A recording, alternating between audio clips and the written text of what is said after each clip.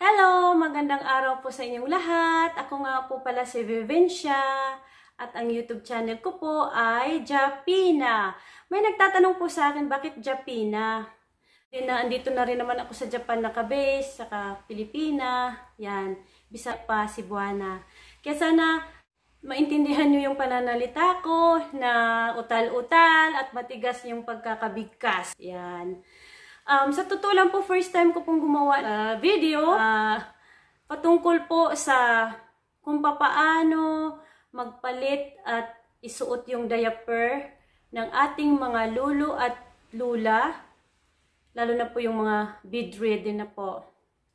At ako po ay may experience na sa pagtatrabaho dito at ako po ay nag-aaral ng caregiver dito sa Japan. At uh, disclaimer lang po ha, hindi pa po ako professional na caregiver. At nais ko lang po kasing i-share sa inyo yung mga natutunan ko dito sa Japan bilang caregiver. Kasi po, um, likas na po sa ating mga Pilipino na tayo po ay nag-aalaga sa ating mga lulo at lula. Napakahalaga po kapag ikaw lang po yung nag-iisang nag-aalaga. Kaya sana po panoorin niyo po itong buong video ko. Umpisahan ko na po ang pagdidemo. Ito po, uh, gumamit po talaga ako ng totoong katawan ng tao para po maging okay naman yung pagdidemo ko. At ganito po yun, mas okay kung gagamit tayo ng guantes um, protect, pang-protect din po ito sa ano, pag nahawakan natin yung balat ng mga lulot-lula natin, maninipis na po yan, masakit po talaga.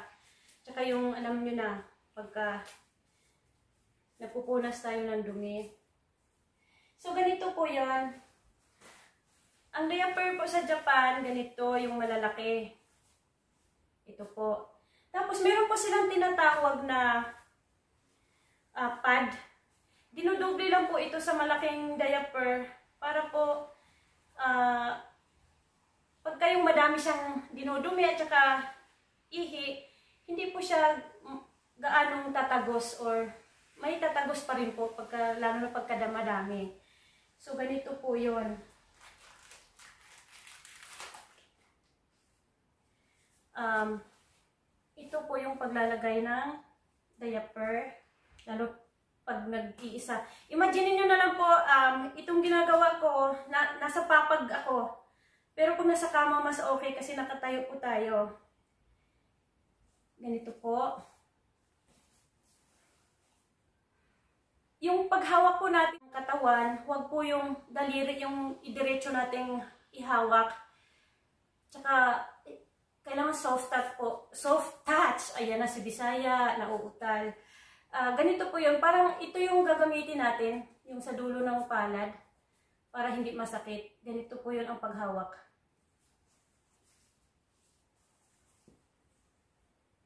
Yan.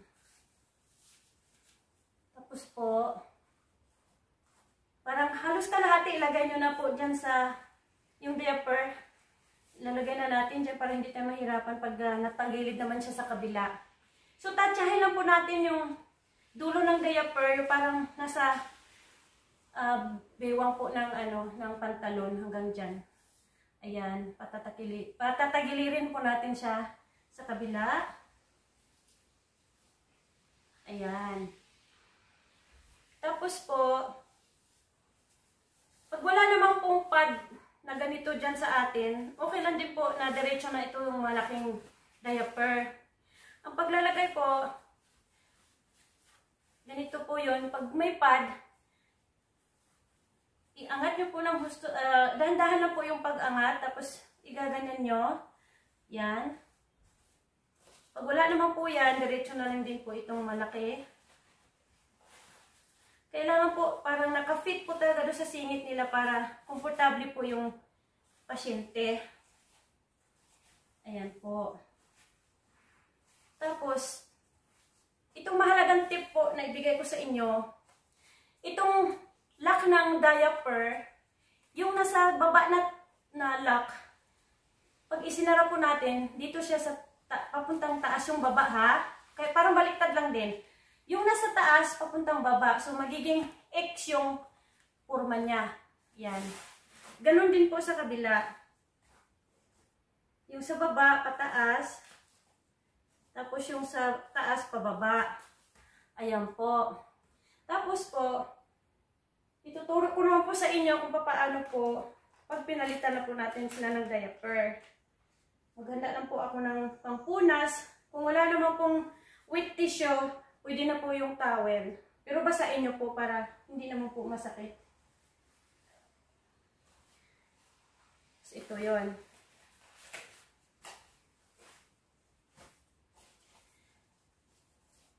Itong diaper na ipapalit natin, tupian lang natin ng konti. Tapos ganun din po ha, dahan-dahan lang po yung pag paghawak ng katawan nila.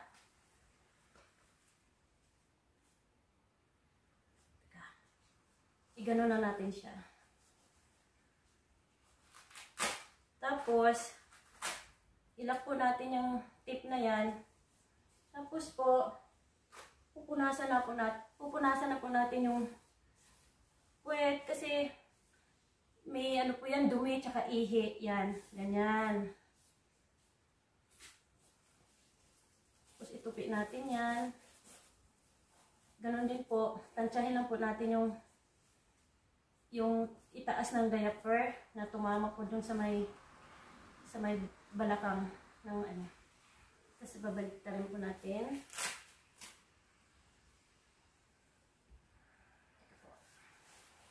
Ganyan na po yan.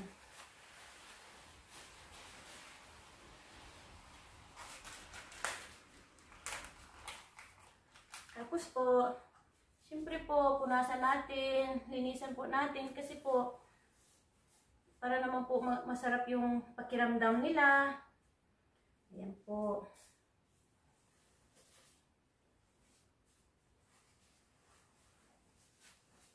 Kaya po nakalagay ka agad yan sa basurahan.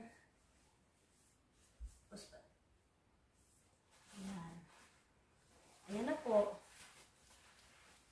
Yung paglalagay po nito ha, pag po, gaganyan dito, tapos ganyan. Para po, parang nakafit po talaga doon sa singit. Tulad ng sinabi ko po, yung tip po, uh, yung panlak po ng diaper, yung sa baba, pataas. Tapos yung pataas, papuntang baba. Ayan. X. X po yung forma niya.